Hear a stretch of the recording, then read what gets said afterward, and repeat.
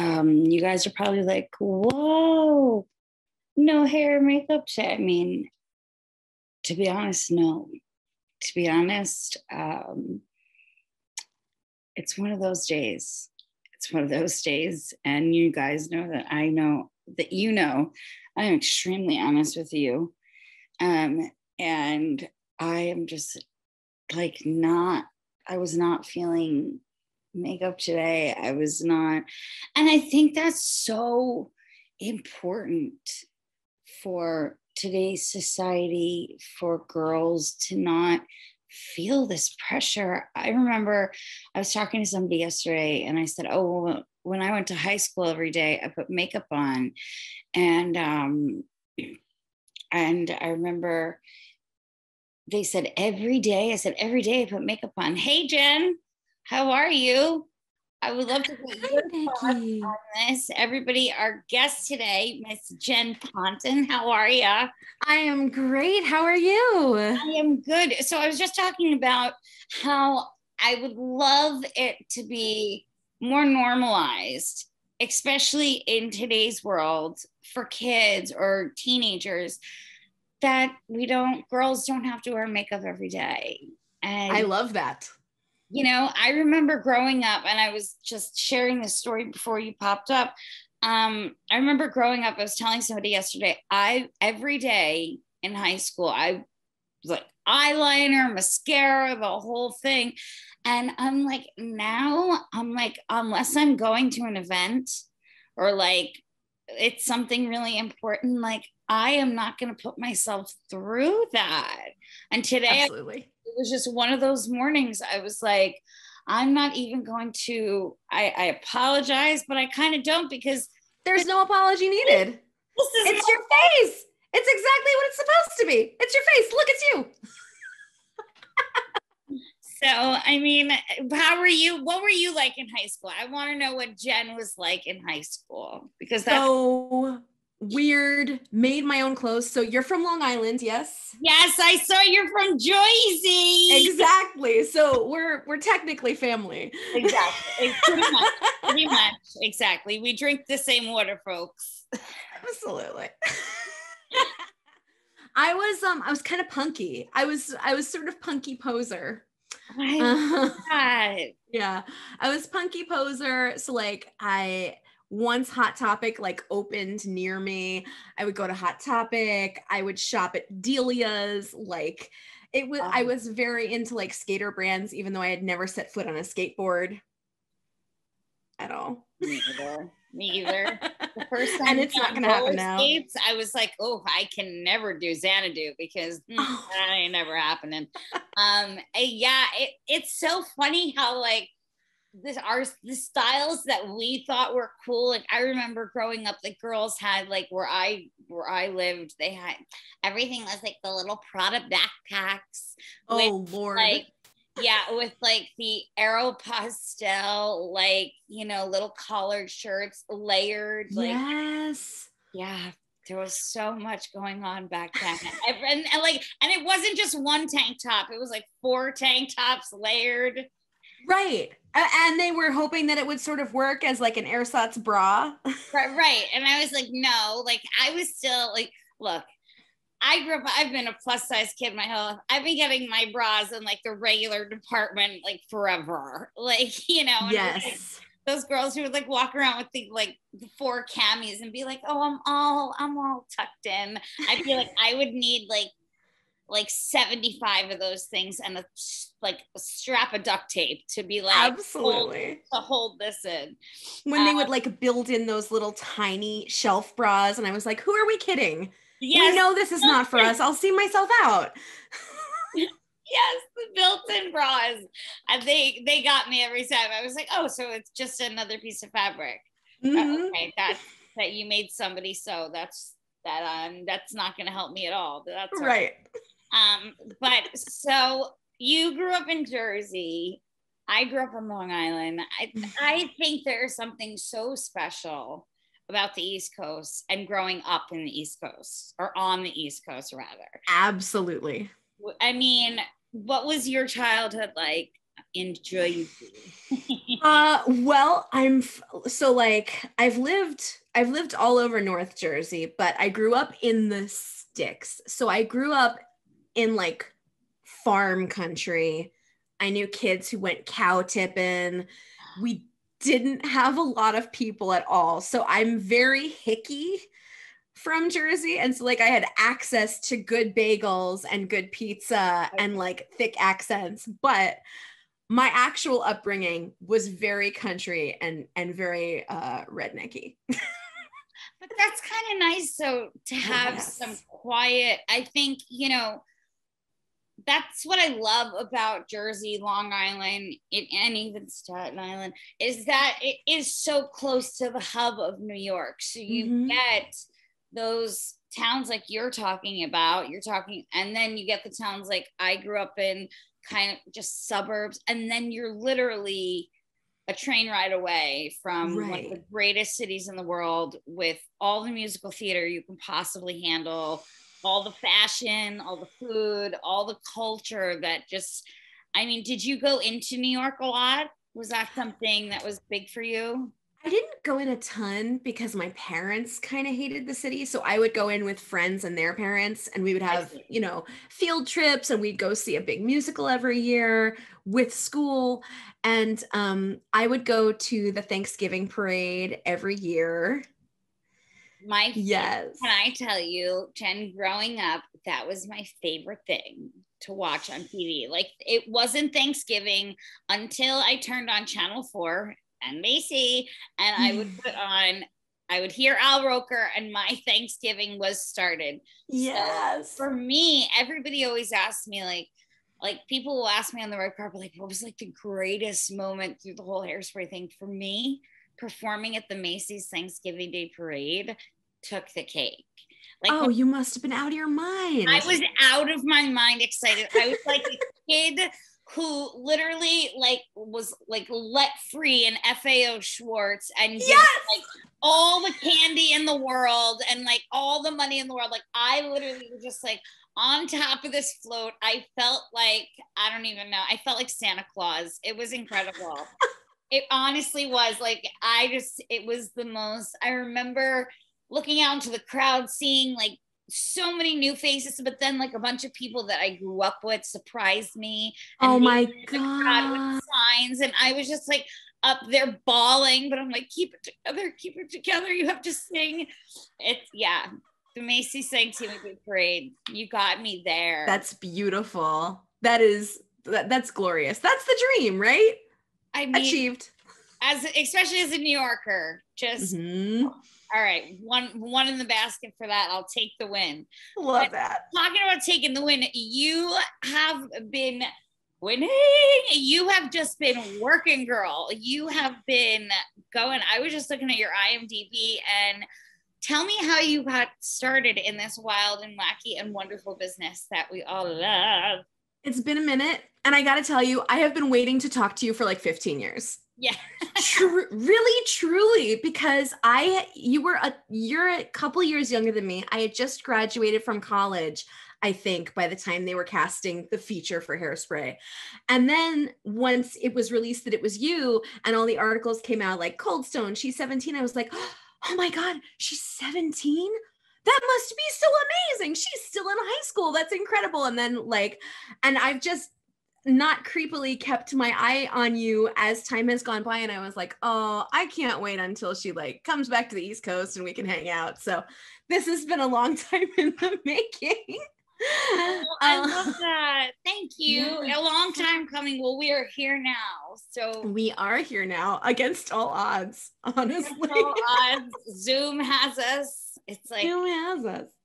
So I'm ex- I'm thrilled to talk to you too because you've had quite a journey as well. And you yeah. know, as women in this business, that's a task in itself, you know, but then being different women um, For sure. You know, I think that poses, you know, I think while it poses a lot of difficulties or hurdles for us to try and get over because they're not there are not as many roles out there as we would like i think personally.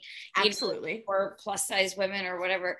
Um I also think, you know, when we get to play these characters that are so special, you know, and so it kind of kind of makes up for it a little bit. But I know, I mean, what's your take on that? Would you love to see, you know, way more plus size characters in mainstream television and streaming? Oh God, yes. A yeah. thousand percent. A thousand percent. So like at the time that you were making the film and I was just starting to like get my real theater experience, real world theater experience. And so I mm-hmm. was doing like really, really late night, like St. Mark's Place theater. you know, St. I was Mark's imagine. Um I love, but like the places that just like tick a little part of my heart, you know? Yes, yes, exactly. Um, I was I was mostly I was auditioning for musical theater all the time. And I was landing like weird little plays that I loved. I love weird little plays. But I was auditioning for musical theater and flummoxed because, as I'm sure your experience was up until that point, you know, when you are a plus size girl who loves theater, congratulations, you're going to be cast as the mother, the grandmother, the uh, Arvide in that terrible show that I cannot stand. Guys. You know, we don't get to be the Adelaides. We don't get to be the Sarahs.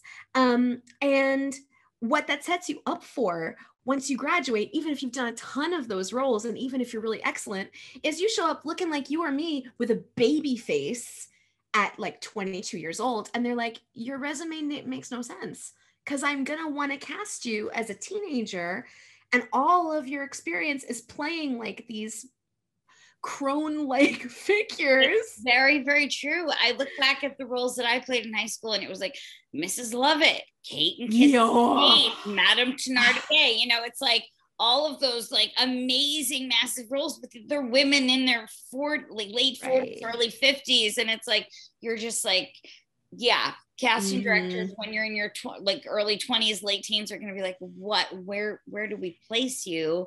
And i love that your high school did Sweeney Todd. Oh my high school was was wild. They did uh, shout out to south high in great neck because i will tell you it was dr pamela levy. She was the um choral director over there at the time and she's my personal mentor. And every year they would do an opera like a full opera when I got there, um, we did one year, we did Carmen and I played Carmen. That that was insane. I had never sang a lick of opera in my life or French, and she taught me like for six months. I don't read sheet music either, so she for six months plunked out every note on the piano, taught me word by word. I mean, this woman is incredible. So when it came to like, I think it was junior or senior year, she was like, we're not going to do an opera this year. We're going to do Sweeney Todd because it's as big as an opera. Yes. And then when we took on Sweeney Todd, we realized, oh, it really, it really is an opera. It sure is. Oh my God. But so, I mean, I had come from a school having like those incredible theater, you know, experiences and playing these roles like I just it was so much fun. It was so oh. they were they were honestly the roles, the times of my life. I had such I bet. Fun. Yes, that those are definitely like the as you age up, those are the dreams for sure. Yeah. I'm like, and now I'm like, I'm sitting here, you know, it was funny. Somebody said to me, they were like, well, if they ever did a remake of a movie and then they said, if who would you want to play? Like, you know, I said, well, you know, they already did the remake of Sweeney Todd. Yes. I was like 25 when they did it. So they would have, you know, it would have never, again, going back to the casting thing, you know, would have never happened in a million years. Right. Right. So we can dream. Good on you. Yeah, we can dream, we can dream. But that's what it's all about, isn't it? I mean, yes. how did your how did your dream get started? How did you say mm. acting and performing this is somewhat I'm this is something I want to do? I I feel like you can probably relate to this. I've known since day one on this planet. I was like, oh, there has to be a place for me. I'm kind of hammy and loud, and I want to make you all laugh, and I probably want to sing too. And I think I could probably soft shoe this. Oh, I guess I could be a cruise director or an actor. or like an aerobics instructor. And honestly, yeah. those were like my three dreams. I and, love um, that. All board. Welcome, ladies. I could just yes. Now. I would be such a prime cruise director, but I mean now and now post COVID, goodbye. Like I mean, can I tell you, I performed after Hairspray on a couple of gay cruises, and they really a blast. Yes. I Were mean, you like the headliner? Like it was just Nikki's yes, cabaret? Even yes. yeah, I had a one my one woman show, and I was doing it at the time. It was so much fun, and I will tell you, back then when I was straight, I used to tell I'd be mm. like, oh my gosh, you know what? I'd be like, even if I was gay, I'd be like, even if I I would never go on a straight cruise again. Gay cruises are so much fun. Now, of course, you know, obviously I've come out and I'm like, yeah, why would you ever want to go on a straight cruise ever again? Why? Um, I mean, they're so much fun, but it kind of just feels like you went to the mall and then all of a sudden you're on a ship with those people. Oh my God, that's perfect. That's- the mall just took off to sea and now you're stuck with them. Kind of just feels like Roosevelt Field just whoop, took off down the Atlantic. And then now here you are for a week and a half on a ship with all these people. And like, you're just like, oh God, at least I hope I went at the, like the four slot machines. Yeah. when they're like, oh, we have the big casino. And you get there, it's like four slot machines. You're like, uh. yeah, right. Of course but there are so many cigars there. There aren't even that many people. There's so many cigars. people just go to there to smoke. I don't know if I'm gonna miss cruise ships. it's it's the one time I think it's like I think it's probably the one time a year when men are like, yeah, we're gonna have our cigars this year, and then they're just down there the whole time, both away, whole time, just at sea, like ruining their lungs. Exactly. Um. so yeah, gay cruises are where it's at. If you ever get a chance, go go on a gay cruise. Heck yeah. By the way, and coming out, uh, more more things in common. Like, um, it's a it's a freaking journey, isn't it? Yeah, it was. It was. Um, it was a wild wild journey for me because I think for so long after Hairspray, there was that um, like I'm, I'm sure, as you know, when you play a character, you can get so wrapped up in being that character, not just for the purposes of the project, but for other people because other people love them so much. And um, I guess for a long time, I was kind of living as Tracy because she made so many people so incredibly happy. And I really wasn't taking time to like really, really get to the root of who Nikki was. And um, I think it was really when I was in my late 20s and yeah, that's when it kind of started to unravel. And by 30, I was like, oh, we are off to the races and gay. Yes. Um, and and then, you know, I came out to my team, of course, and they've been super supportive.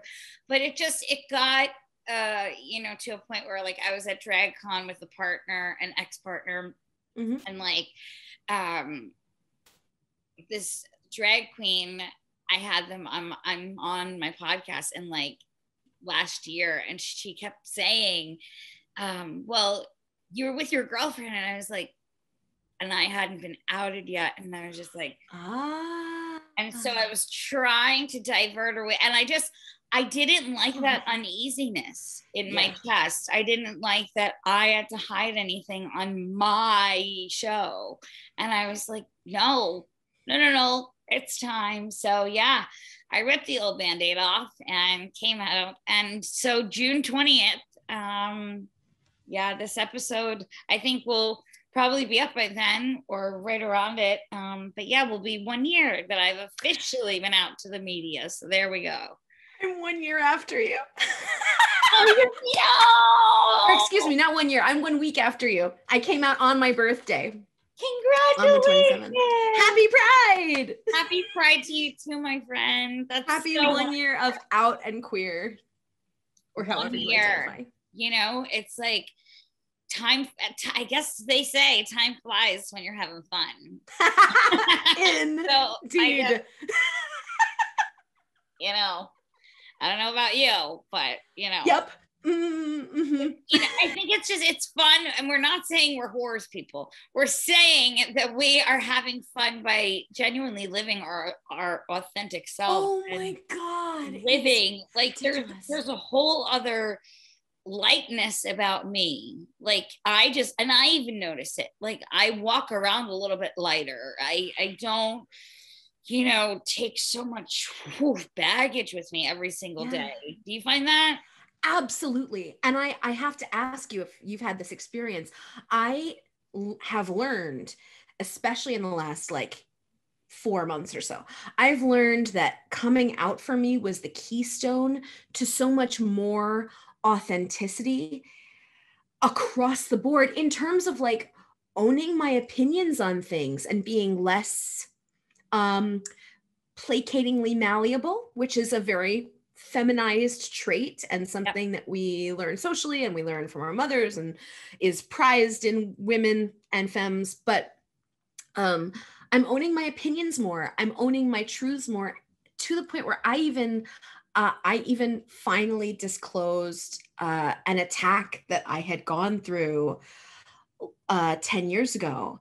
And that was something that I felt that I was always going to just carry with me, that it was like my burden, my darkness, my my shame and something about coming out and being living in that and being authentic and finding love um, in a very deeply authentic way allowed me to release that.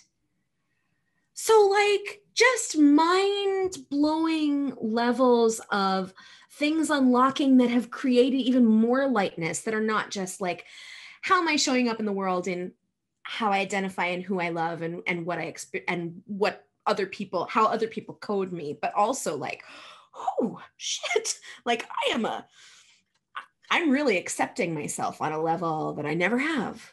I think you hit something right there that I've always noticed in myself is I was born a people pleaser. Yes. I would do anything. I would do anything in the world to make anybody smile because I just I I'm half Catholic, half Jewish, so I have half. You're a cashew. Yeah, yeah, exactly. I'm a cashew. I have half Catholic guilt and half Jewish guilt, and it's like it's like I always feel bad if I'm not like making somebody happy or somebody. Some so I'm always like the biggest people pleaser in the world.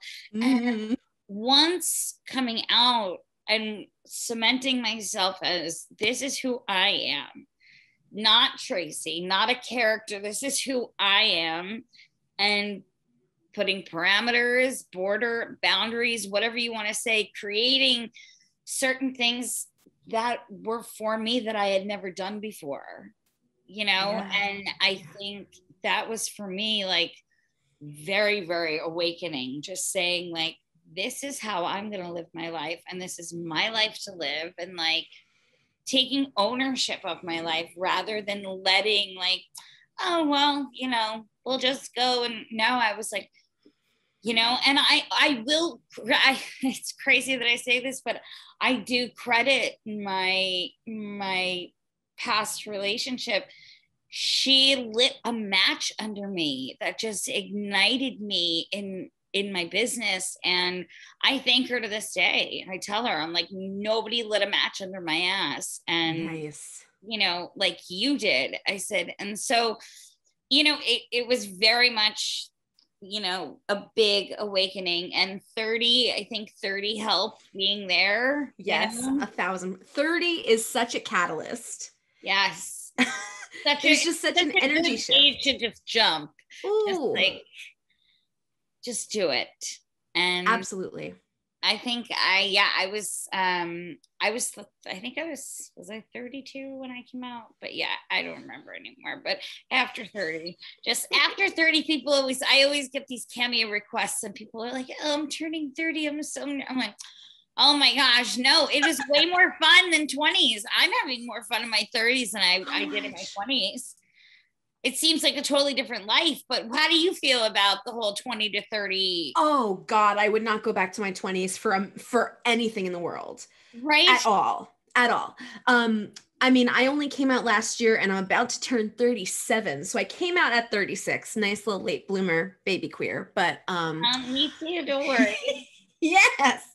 Um, but uh, when I was 30, when I was 30, I gave up a bunch of really like energy vampire frenemies and they had been long installed because like you jewish very people pleasy mm. and i was finally like no i'm done with this. Something just like changed in my dna and i shucked off a lot of these um very formative friendships but that were horrible for me if yeah. i had seen someone else going someone that i love going through it i would have been like girl, get out. what are you doing? I had I had an amazing friend in the business say to me when I told him um, I was talking to him, and he's been an actor forever. And I said to him, I said, I don't know what it was about turning 30, dude. He goes, You reached your bullshit quota. Yes. Bullshit goes, quota. I love you that. Your bullshit quota. So that's you know, in in terms kind of that of you know, you find out the people who are there for the right reasons. You find out the people who are there for how can this benefit me? And then you mm. start to separate them. And then those people fall into the bullshit quota. And then we yes. reach our cap and we're like, mm, time to take them out. Yeah, Absolutely. I mean, Absolutely. Not literally, we're not murderers. We're not. T- yeah, I mean, I'm but you know, we are from now. Jersey and Long Island, respectively. So, right, if, exactly. If I'm something like Island, that happened. Staten Island. That's not. I love Staten Island. Please don't come for me, Staten Island. Someone has to claim them. We have to. We have to just embrace them. They do, like the Statue of Liberty herself. Right? She just like I am here forever. I'm going to protect you, Staten Island. It's okay. Yes. I'm gonna got you for the rest of the world. I got you. Oh my gosh. I've I've managed to completely just have all of New York hate me now. This is fantastic. No. um uh, isn't that what every host wants? we must defend the defenseless. It's only fair. I've only been there like once or twice, but I will say, I will say this when they do a reality show on on VH1, like the mafia ones, I am mm. tuned in like you wouldn't believe. Oh my god! I've seen every single episode of Mob Wives. I mean, I is that who Big Ange is? Is that her show? Yeah, she was on that show. Bless her soul. She's been past a few years, but um, oh. she was like the greatest character. Like, uh, gorgeous heart you know, that's and that's what I'm saying. There are people like her in New York, just like these larger than life, beautiful, wonderful characters who just and I think that's just something special about the East Coast, you know, you're you're born with it. Inherently. All the way down to Florida. The second you find out someone's from Florida, you're like, oh, okay. Yeah. This whole relationship is gonna be a ride. Got it. I'm dying right now. oh my god. it's so it's so true. Oh my gosh. They can't even help it. it's like, you know, the whole um whenever uh, bless his soul my grandfather my grandfather was a, an inherent new yorker and a new york cop and was in the navy and anytime the poor man saw somebody with like a, a florida driver's plate you know, a license plate, mm-hmm. he'd be like, oh, well, George is out for a Sunday drive. He's like, here we go. Like he'd be like, everybody get ready, start telling a story. Like, like he and the thing was was that we had so much family down his mother moved to florida when she got older so they would drive mm. down there like twice a year to go visit her my poor grandfather those rides he was like ay ay ay he could oh no my and my grandmother bless her had the patience of a saint she'd be like and she was from boston she'd say it's okay. I'll do all the driving. I'll park the car. You know? so but it's yeah but it's true that whole florida yeah you're like oh! for sure. Yes. And, like you're kind of like us so we we have to embrace you but also you like deal with alligators and you never wear real shoes. Real yes wear the real shoes. I mean i remember speaking of real shoes you're bringing me back. I remember my aunt my aunt pam and aunt fran had clear shoes that i thought were the coolest things i had ever seen i i thought wow. I mean, there has to be pictures of me somewhere. And if they yes. are, dear God, mom, mom, mom, I'm telling, I'm warning you. Uh, there's she she has one photo already, like for a childhood photo that I my brother now has it in his possession, and I told him if it ever gets out. Yes, I, I love those. To God, Joey, I said you have no idea. And he recently texted it to me the other day. He was like, remember, dot, dot, dot. And I was like, not funny, not funny at all. Um, but we would go down there and yeah, the clear shoes. I remember that. And just it's Florida. My best friend's from Florida. She lives down there. Um, but she's originally from Seattle. So she's always like, you know, I don't, I, I don't know about this place. She's an sure stranger too. in a strange land. too, and and you know the acting, you know, it's kind of it's very very different in Florida. It's very really game. Yeah, it's a it's a very different game, and it's a very it's a it's a it's a, it's an interesting slope, and it's it's kind of it's not LA, it's not New York, it's not Georgia, it's not even like Toronto. It's kind of just like in the middle doing something off to the you know, in the Florida way, I guess. Well, that's, I guess, who was pumping out like NSYNC and Backstreet Boys and like the Mickey Mouse Club, I think. So yes, yeah, there's, there's it's some... so true. They're all from there. They're all from there. I'm gonna write a book. I'm gonna interview everyone and write a book. Somebody asked me, okay, so now I have to ask you this question because a friend of mine asked me the, it the other day. She was like, were you more of an NSYNC or a backstreet girl? And i was like okay i'll put it to you this way. I my first one of my first concerts was the backstreet boys. Love love them love solid. But i think justin timberlake is one of the most talented singer songwriters in the business producers. I love him. I think he's a genius. And FutureSex/LoveSounds is forever my favorite soundtrack. Like i mean album. And we played that album to death on this set of hairspray. We all had it. And we would all play it in our trailers at the same time and we would drive the ADs insane because they would be like we just came from Elijah's trailer. He's playing the same song. Like, can't you at least just sit in each other's trailers and listen to it together? Like, we all we hear is Justin Timberlake.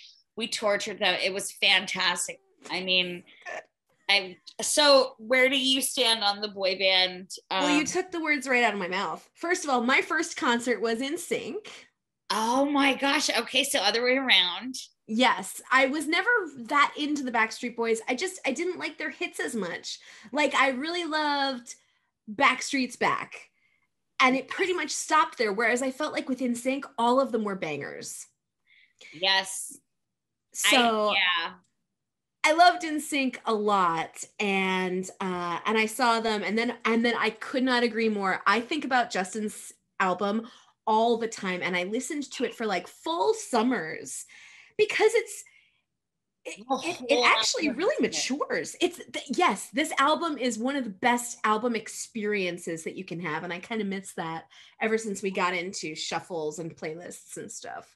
Yeah, I think I think he I think that's probably the last album that I've like bought and listened to mm. front to back. You know, yes, wild first one that I ever had. Well, not album, but cassette was Ace of Base followed by followed by Melissa Etheridge. And, yeah. And I didn't know I was gay. What? No, those those late those those signs that we catch just now. I, I, I played know. nine years of competitive softball. Yes. No. Nine years. That didn't no rub off on you. that just get coming out at 32. Uh, it just, you know, I think for me it was that, you know, I just when you start working so young or when you go to college mm-hmm. or when you I think when you're focused on something on a goal that is massive and it's so mm-hmm. big and you have to put all of you into it. I think sometimes you know it's it's kind of okay and normal i feel like i was like always the the girl showing up to the party without the date like i yeah, i just was like i was doing a show so i was like i didn't have time to find one i wasn't really interested in finding you know what i mean like so yep. i i want to tell all the kids out there who aren't dating like that's fine too like take your time live your life get to know yourself do your plays play your sports, do whatever it is. Take your time and then come into your own because your own can be at 32, at 37, at, it can be at 57, it could be at, it doesn't matter. This is your life. You just got to own it, you know? absolutely i was i was in that same cycle of like oh i'm in a show don't need a boyfriend uh when i got uh when i basically was like harangued into dating my first boyfriend who was the worst human just simply Aww. the worst human and then i kind of like serial dated guys after that and i was like uh well no time to sit and think about it so here i am at 36 like uh-oh well you know i i dated i dated guys too i dated guys too uh, there were a couple there were a couple fellows in there and um you know my first was on the set of Hairspray. My first boyfriend, love him dearly. He's still one of my best friends. Um, he was one of the backup dancers and uh, one of the detention kids, like the mm-hmm. sweetest human ever. And um, and yeah, I dated guys for a while, and he was he was actually one of the first people I came out to. I said, I need to tell you something. Oh. He was like, What? I was like, Well, here you go. Um, and it, he was just so supportive. I mean, so it was, yeah, I found myself like in the relationships with men. I think with him, I was most present because we were filming a movie and it was everything was magical. Sure. We felt like we were in Disney World every day. Um, but I think in the other relationships, as I got older, like I was in them, but I wasn't really in them. Like I was there. It's like your mm. body's there, but I was mentally checked out. Sure. Yeah. Cause I was like, what feeling? Really don't want to be here. Yeah. I remember when I got engaged, I remember that feeling of, oh shit, I just said yes for forever. Oh no. oh, what is, yeah. I mean, you know, I was like, oh, that's what this is for oh, forever. I got shit to do. I was like, that's what Uncle Jesse was singing about forever. I was like, ah, no, I don't want to do this. And I was on a cruise ship. And I was oh, no. ship. Yeah. See? See? Yep. I sure do. And it was a straight cruise. It was a straight cruise. So you see what I'm saying? See Those malls, they'll get you every time. Always get you to buy shit you didn't want to buy in the first place. exactly. I walked off of that cruise, that straight cruise, with a bracelet I didn't want. I I, I bought it for like seventy five dollars. It was some kind of gold. I don't know what plated it was. Who knows? And I walked off it with that and and a fiance I didn't want. So oh no. but I made it off. That was all that matters. And here we are. And you know, I mean, it, and I'm by no means am I making light of the situation, but because I haven't spoken a ton about that situation, that that for me, sure. that engagement it was very much a that I plan to, you know, talk about whatever when I'm ready. But something about exactly. you just made me like super ready to be like, and it happened on a cruise ship, no less amazing. Oh, thank you. Amazing for, for just uh, supporting me while I just told that little that fun little ditty. Uh, I appreciate you. Yeah, you know, life is all about wild experiences, and I think especially in in this business, it's like I always say, I have this theory. I'm like, okay, so it's kind of like, you know how for one year for us, it's seven years for dogs. Yes. Okay. In this business that we're in, one year for a regular person not in the business, mm-hmm. it's like seven years for us. Absolutely. So, in the most you know, unfair of ways. yeah. It's I'm like, so I'm really like getting to golden girl status. Like I'm like, yeah. I'm like, I'm definitely I'm like my mm, mid 50s, truly. like a thousand percent. so how has uh how given that like given enjoying more space for you to be really real and authentic with who you are literally just physical space not having not having to hustle not having to show up on set or go to events or play the whole game how has that really felt for you hopefully within the safety that you've been in? It's been you know i had my first live performance um like since COVID, since coming out. It was just this past Friday in downtown LA, and it was super, super exciting. I was there with my partner in crime, my amazing friend Ryan Casada, who is a brilliant uh, musician, and we performed, and it was such a fun lineup Kevin McHale was there and Austin McKenzie.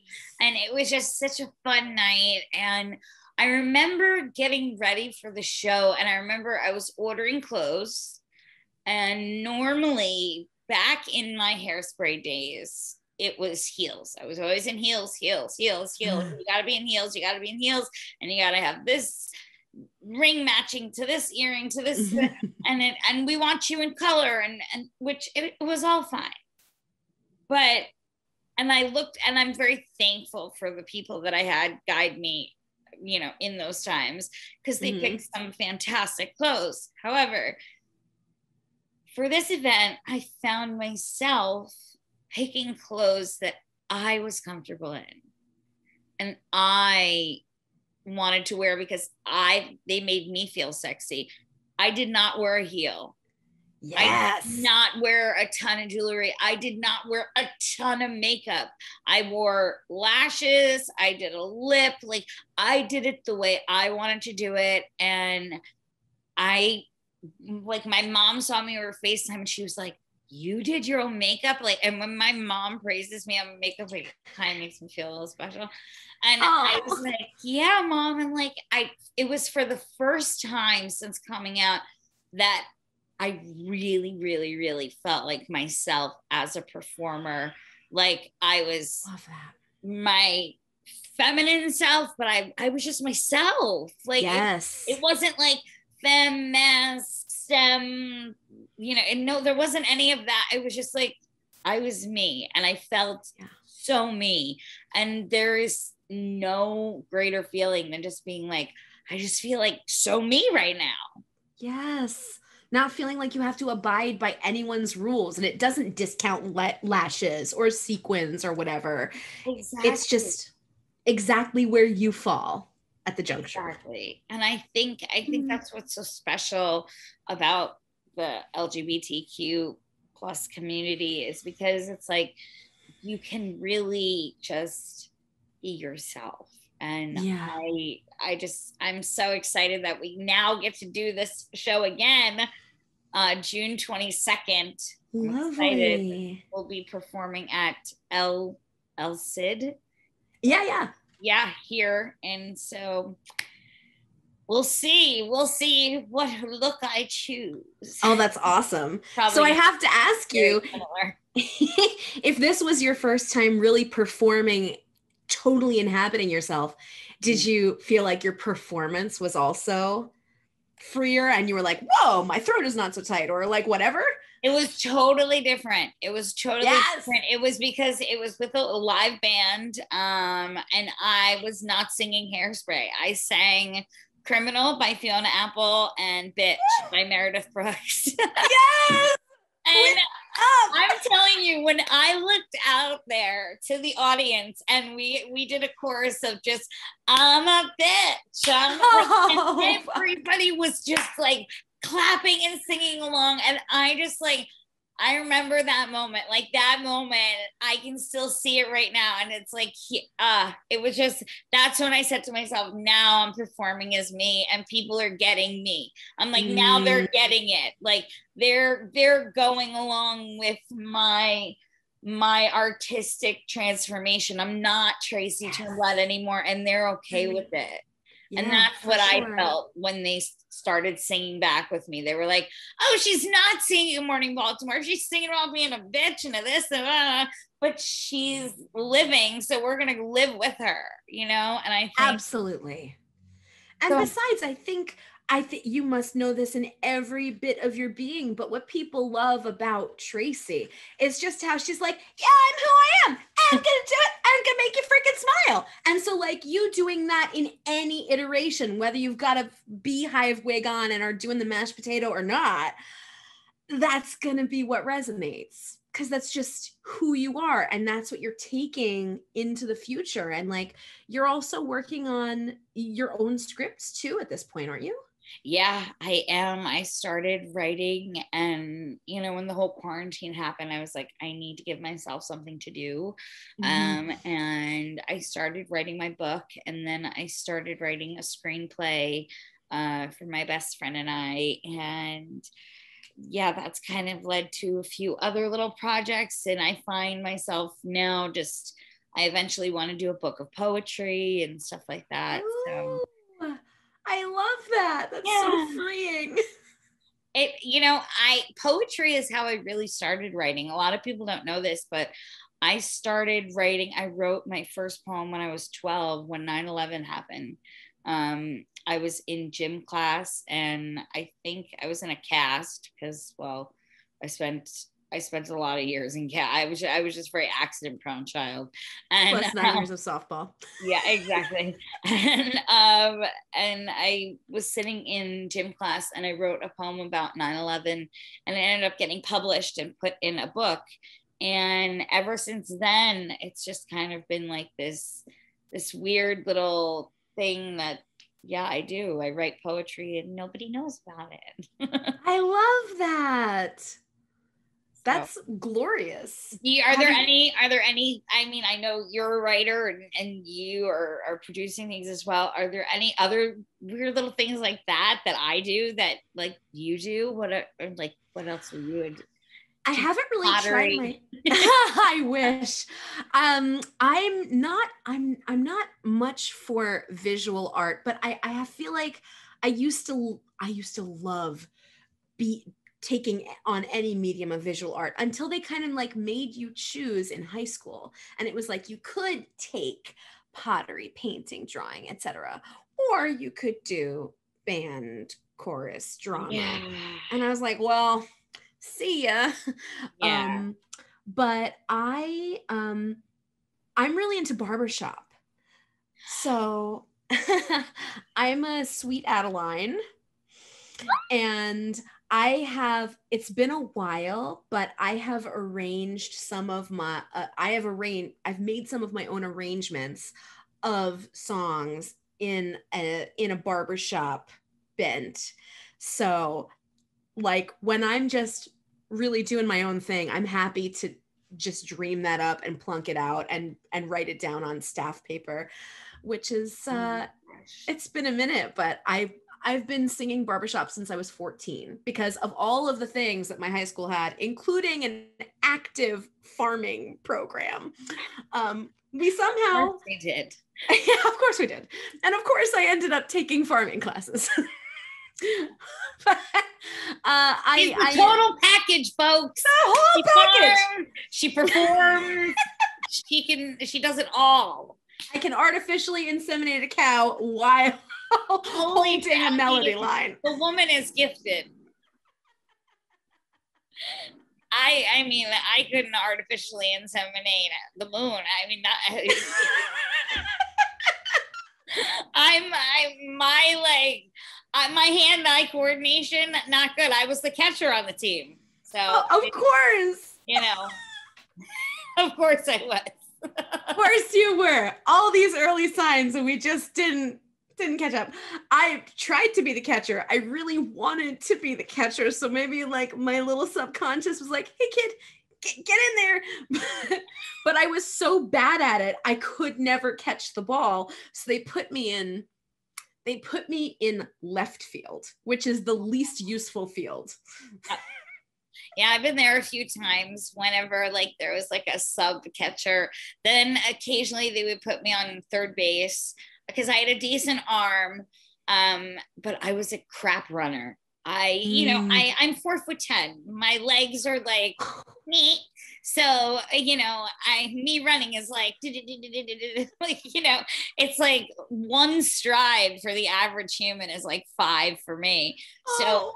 like the minute I would hit like I would hit a far ball and it would look like oh easy home run, but then everybody would realize that I hit it and they'd be like, oh, it's just going to be a double. And then by the time I would get to second base, my mom would just get a, a pinch runner and, and we called it a day. And I was like, "Is are we at intermission now? Yeah. Can we take five yet? exactly, exactly. I would always joke with my team members too. I would be like, guys, we have our costumes on. They're like, there are uniforms. I'm like, I, I torture them because, you know, I was really the only like musical theatery, but also wanted to play ball. So, not a whole lot of overlap there. Not a big overlap. And I'm seeing Melissa Etheridge. I mean, my friends were, my friends really put up with a lot looking back now in the day. They, they That's so good oh my gosh. So now, where do you live now? Are you out here in Los Angeles like me? No, my best friend is, although she's moving to San Francisco soon. Oh, um, oh, but so I, you know, um, the, the TV and film started really booming here pretty much once I transitioned from theater to on camera work because yeah. I was so flummoxed by theater, but I was getting really warm receptions in my auditions for on camera. And I'm like, are you kidding? They're more willing to put a fat girl on TV than they are on stage, which of course I could still rant and rail about for days. But, um, but I, I just, I found a warmer reception there. And I was like, oh, you have to cast people who look like real run of the mill everyday folks. And so um, I was initially thinking back in those early days, like, oh gosh, I'm going to have to move to LA. But I ultimately didn't need to. And so, like, it's sort of going to be an as needed thing. We'll see. We'll see where the world kind of settles. But I always figured if I get a show and I have to be out there, I could like sublet and I could just go be out there temporarily for eight yeah. months at a clip and like come home. Oh, there's just me. There's a million ways to do it. I've been playing this game for 15 years and I'm always like, I don't live here. And then now I just and then now I just moved back in December. Um, but I've I've lived in New York for like 10 years at a clip, you know, and then been back and forth and you know, there there's so much work in New York now too, so and not much. just not just in theater, um, mm. in film, in TV, especially in indie film, which is so exciting. And I love that a lot of these streaming platforms are shooting in New York as well. So mm-hmm. I'm like, more, more, please. Um, because I would love to. I, You're looking for an excuse to come back. Come on. yes. And we got our first uh, multicam studio a couple of seasons ago because um Kevin Can Wait yes. was was in there. Yeah. So that was like the first time that we've had a live studio audience for narrative work. Wow. Ever since the 70s? I don't know, but it definitely in like my career. So who knows? I'm not really I don't really know how anything's going to like come back. Well, you know, I was talking to I I'm getting ready to go back myself to filming and I'm I'm excited. I'm a little nervous, but I'm excited because it's so different. But it's funny because when I started this particular particular film back in December, um, I was we were in Video Village and we were talking and my co-star said something about filming and I said, "Well, do you know that when we started when I started filming. Okay. I said, it was actually on film.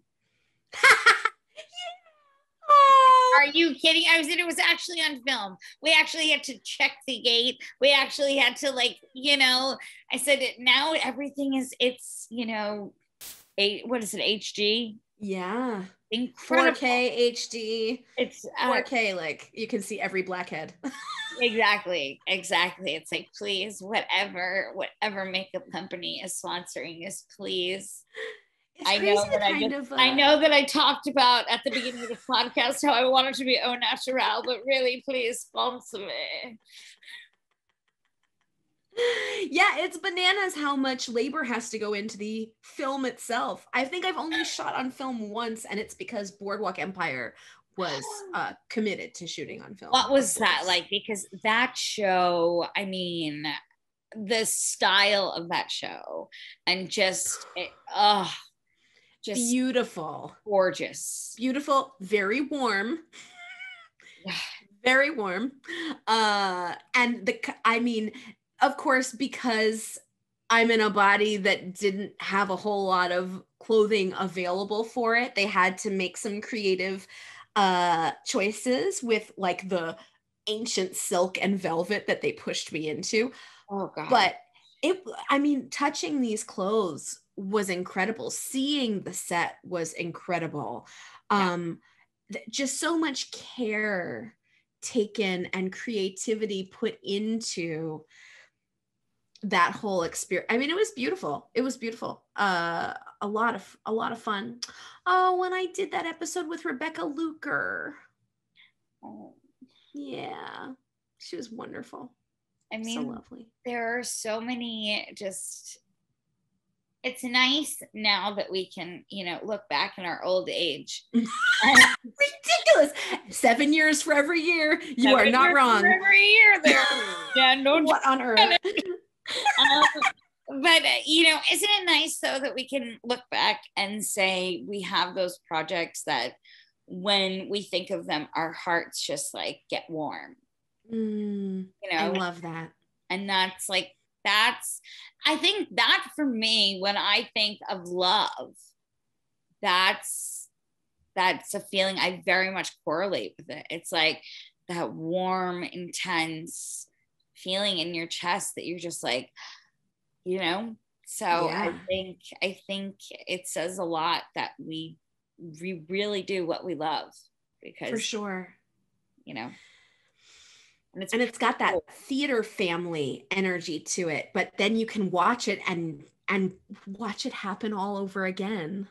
Yes. Uh, well that's what's so amazing to me. You know gosh here now you know we this summer will be 15 years that we initially started making the movie.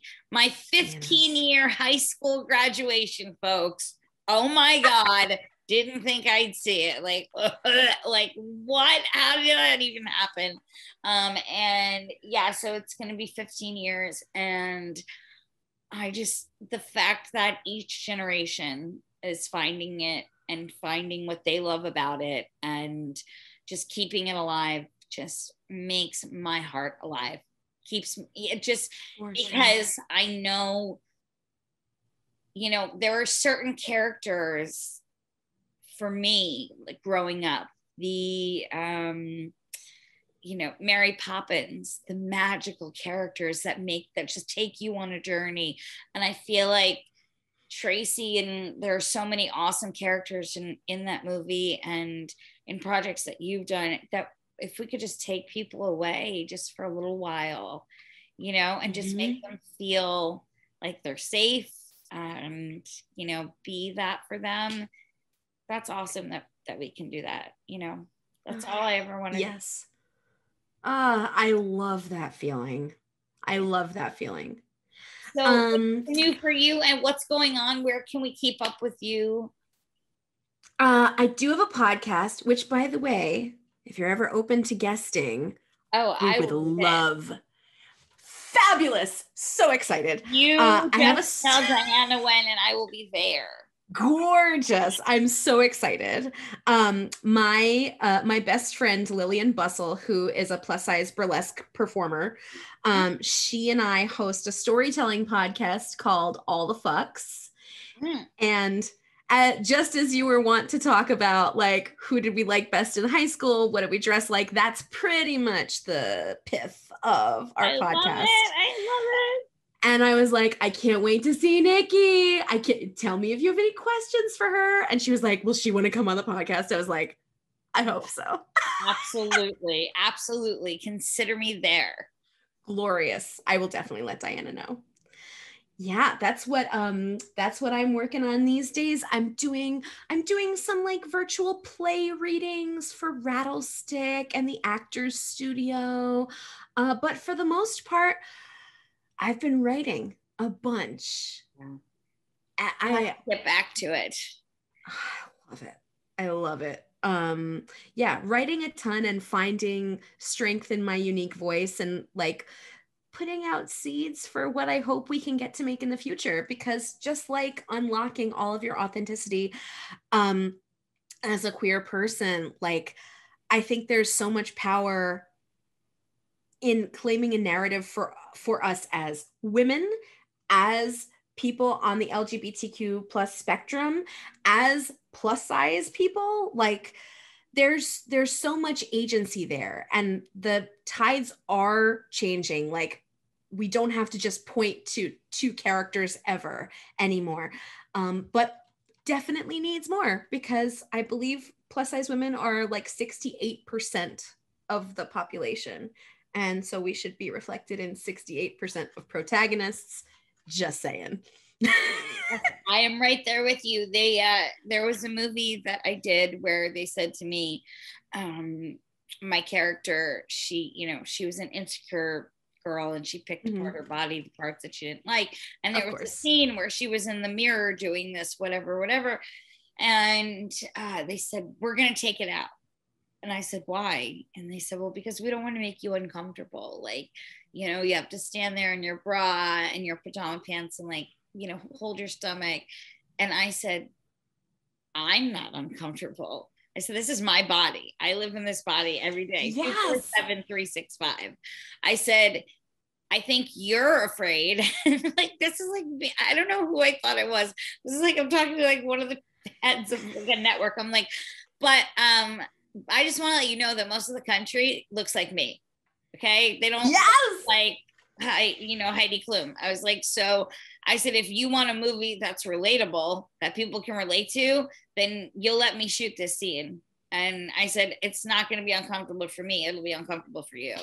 And we shot the scene. And for me, it was about the representation. I wanted whoever was watching it to be like, okay, holy shit like we never see like a plus size girl in a bra like whatever.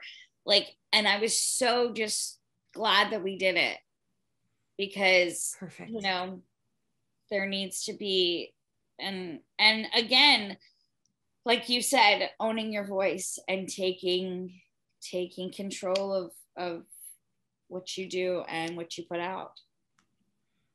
Love it so I wish you well. I have no doubt that I will run into you many, many, many a times. Yes, I'm so excited for that. you know, I'll be back on the East Coast eventually. I mean, you know, you will because you don't really live in LA. Right. I'm, I've just been, you know, pit stopping here for eight months. it's just a little, you know, a little bump in the road. But um, of New York will always be my home, and I'm I'm coming back. My brother's getting married. My little brother. Oh, Mazel Tov! That's wonderful. You. Yeah, so he's getting married, so I got to come home and you know for his engagement party eventually. So sure, I'm coming back to the East Coast, and I will let you know. But um, hold it down for me until I get there. Happily. All right. I'll see you, you soon, sister. Thanks, Nikki. Be good. You too. Bye. Bye. Oh my gosh, what a delight. What a delight Jen is. I absolutely adore her and I adore her for being so open and honest and candid about everything that she's gone through in her personal journey. You know, it's like everybody's journeys are so vastly different, but they're so vastly be- beautiful. Not like the noise that's going outside my window but what can what can you do? It's life folks and it's live. So um anyway jen thank you for sharing your stories and for sharing your heart for sharing your talent with the world because you are one gifted woman and i adore you I adore you already. So, congratulations again on coming out, my friend, from one one member of the LGBT community to another. Congratulations. And I'm so, so, so incredibly thrilled for you. And I'm sending you so much love. And I'm sending you all so much love during this month of Pride. It is Pride Month, everybody. And I just want to tell you all that I love you all deeply from the bottom of my soul. Thank you so much for embracing Tracy Turnblad 15 years ago when or you, you know in 2007 when the movie came out but thank you for embracing me and and loving me for who i am. It means more than you know um, and just know that i love you for who you are and you're all absolutely incredible and you make my day every single day. So happy pride. I love y'all. Bye